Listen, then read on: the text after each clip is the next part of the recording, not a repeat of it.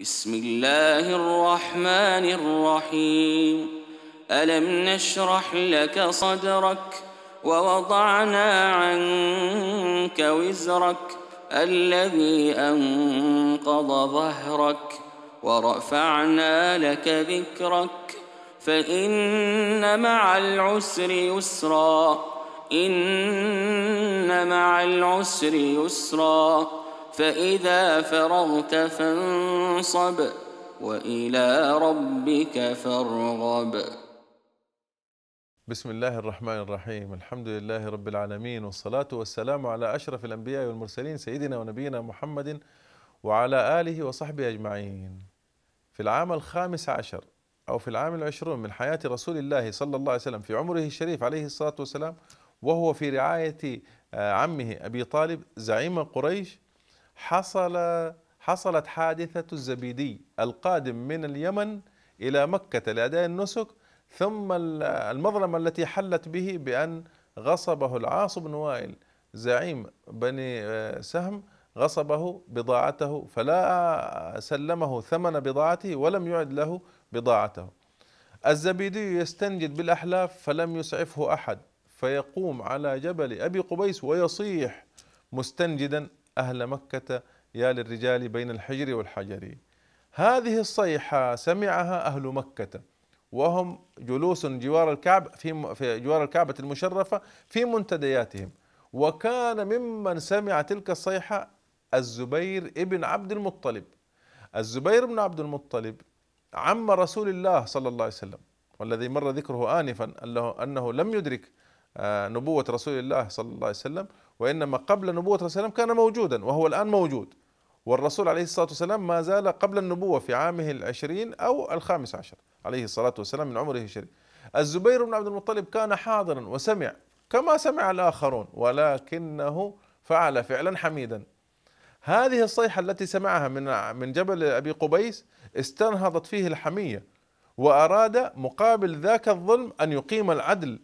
فماذا قال؟ قال الزبير إن هذا الأمر أي هذه الصيحة التي نادى بها هذا الزبيدي إن هذا الأمر ما ينبغي لنا أن نمسك عنه ما ينبغي أن نترك هكذا. لابد أن يناصر. فتحرك الزبير بين بطون أخرى في قريش. قريش هذه القبيلة الضخمة كان فيها الأحلاف. بنو سهم وجمح وعبد الدار كانوا قد تحالفوا واتحدوا على الظلم ظلم هذا الزبيدي ومعونة ذاك الظالم العاص بن وائل. فقام الزبير بتكوين حلف آخر ليكون على العدل لا على الظلم. وجمع معه في هذا الحلف جمع معه أهله جمع معه بني هاشم. وبنو هاشم فيهم رسول الله صلى الله عليه وسلم. وفي بني هاشم العباس وحمزة وعلي رضي الله عنهم أجمعين. فهذا بطن من قريش. هذه بطون أخرى الآن في قبيلة قريش. فجمع بني هاشم وأيضا أخذ معهم بنو زهرة. جمع بني زهرة في الحلف. وبنو زهرة هم الذين من بينهم آمنة والدة رسول الله عليه الصلاة والسلام. وكذلك سعد بن أبي وقاص وعبد الرحمن بن عوف رضي الله عنهما من العشرة المبشرين بالجنة هم من بني زهرة. كذلك كان في هذا الحلف الجديد الذي أنشأه الزبير بن عبد المطلب الآن كان في هذا الحلف أيضا بنو أسد.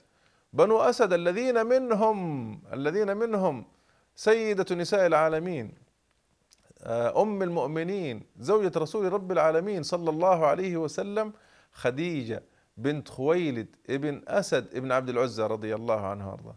فهي من بني أسد. كذلك في هذا الحلف الجديد الذي فيه بني هاشم الذي فيه بنو هاشم وفيه بنو زهرة وبنو أسد في هذا الحلف أيضا كان بنو تيم بن مرة.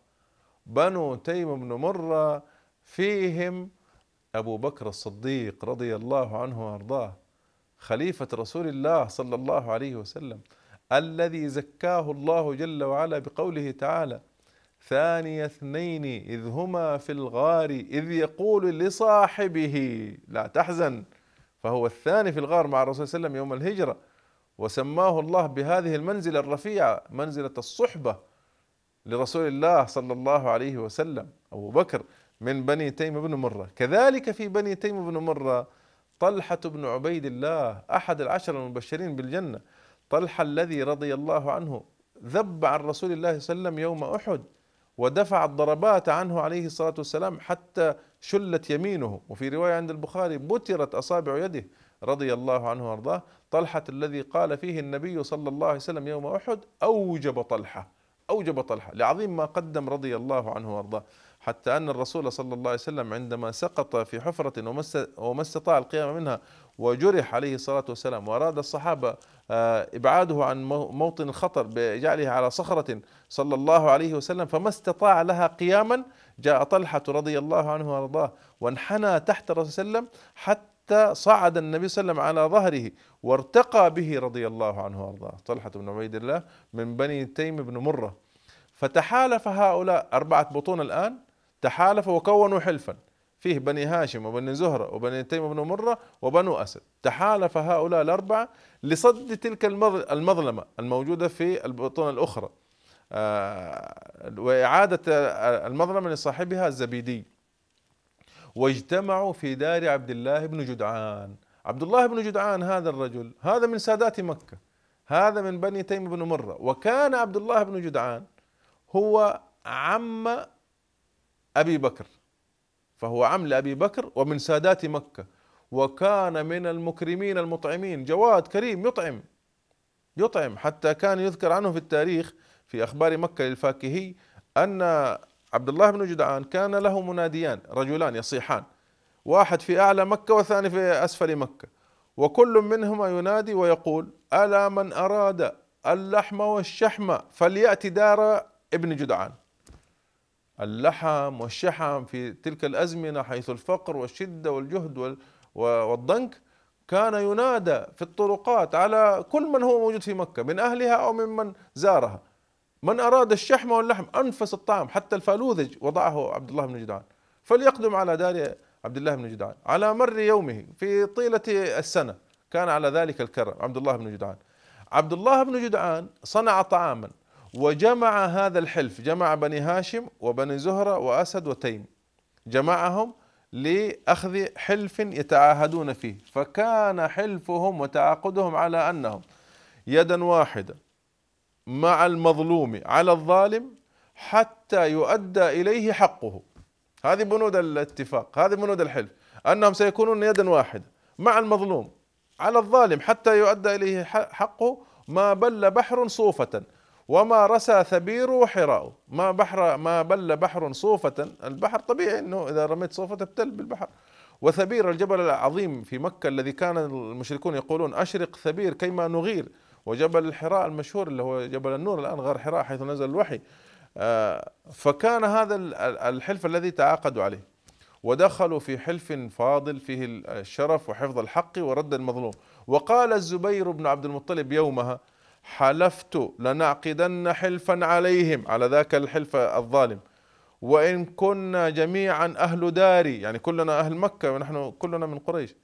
نسميه الفضول إذا عقدنا يعز به الغريب لذي الجوار ويعلم من حوالي البيت أنا أن ويعلم من حوالي البيت أن أبات الضيم نمنع كل عاري قام ينشد بذلك وهذه محمدة عظيمة قام بها هذا الرجل الزبير بن عبد المطلب بتكوين هذا الحلف عدلا ووقفوا للأحلاف الذين تعاقدوا على الظلم وفعلا أخذت المظلمة وأعيدت لصاحبها وكف ذاك الظلم وكان العدل العدل هذه المحمدة العظيمة التي قال الله جل وعلا فيها إن الله يأمر بالعدل والإحسان وإيتاء ذي القربى وينهى عن الفحشاء والمنكر والبغي يعظكم لعلكم تذكرون.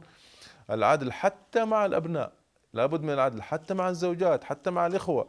آه، في في حديث النعمان بن بشير رضي الله عنهما أن بشيرا رضي الله عنه والده جاء إلى رسول الله صلى الله عليه وسلم وقال آه، يريد أن يشهده على أرض أقطعها لولده. فقال النبي صلى الله عليه وسلم أعطيت سائر ولدك مثل هذا؟ هل قسمت بالسوية والعدل بين كل ولدك؟ قال لا. بشير قال لا رضي الله عنه. قال النبي صلى الله عليه وسلم فاتقوا الله واعدلوا بين أولادكم. وأعدلوا بين أولادكم. الحديث في البخاري آه، آه، رضي الله رحمه الله. وعن عبد الله بن عمرو بن العاص رضي الله عنهما قال قال رسول الله صلى الله عليه وسلم أهل العدل الآن يسمعون هذه البشرى إن المقسطين أي أهل العدل عند الله على منابر من نور عن يمين الرحمن عن يمين الرحمن عز وجل وكلتا يديه يمين الذين يعدلون في حكمهم وأهليهم وما ولوا. يحكمون عدلا. في بيتهم عدل. آه، وما ولوا إن تولى مسؤولية ومنصب وإدارة وأيضا عدل. والحديث عند الإمام مسلم في صحيحه. تعريف العدل هو إعطاء كل ذي حق حقه. هذا هو العدل الذي قامت عليه السماوات والأرض. وفقنا الله وإياكم. وصل اللهم وسلم على سيدنا ونبينا محمد وعلى آله وصحبه أجمعين. بسم الله الرحمن الرحيم. ألم نشرح لك صدرك ووضعنا عنك وزرك الذي أنقض ظهرك ورفعنا لك ذكرك فإن مع العسر يسرا إن مع العسر يسرا فإذا فرغت فانصب وإلى ربك فارغب.